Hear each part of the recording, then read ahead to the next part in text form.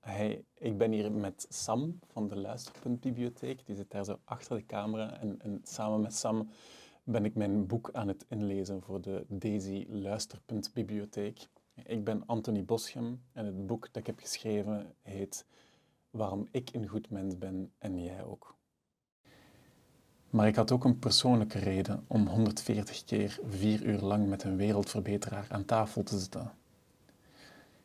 Ik zag aan de ene kant de gigantische omvang van de problemen en aan de andere kant hun in vergelijking bescheiden bijdrage aan een oplossing en vroeg me af hoe zij leven met die spanning. Waarom verder doen als je weet dat het te weinig is? Gaandeweg ontdekte ik dat mijn gasten, ons publiek en ikzelf niet noodzakelijk goedgezind werden van het voornemen een betere plek te maken van de wereld.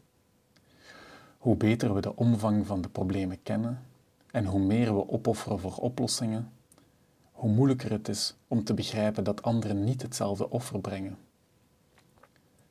Sluimerend voelde ik het gevaar van een liefde voor de wereld en de mensheid die ten koste gaat van de liefde voor onze straat en onze buren. Het gevaar van een verterende liefde voor een wereld die nooit graag genoeg gezien kan worden.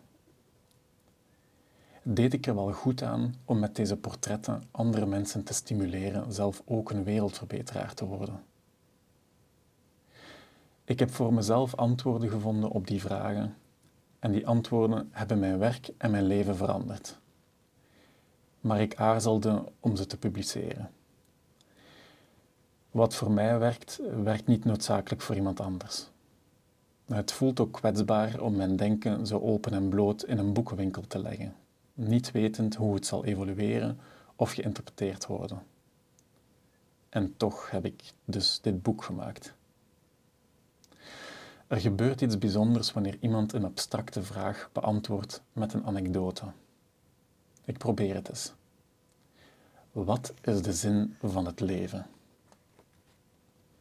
Ik zit op een terrasje aan het water er komt een jetski voorbij met een geluidsinstallatie achterop gemonteerd.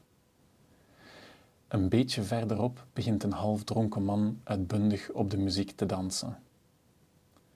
En ik ben niet helemaal zeker, maar ik denk dat ik op het gezicht van de stoere man op de jetski een tevreden glimlachje zie verschijnen. Dat is eigenlijk geen antwoord op de vraag, vind ik. En toch voelt het voor mij als een antwoord op de vraag. Het maakt de vraag overbodig.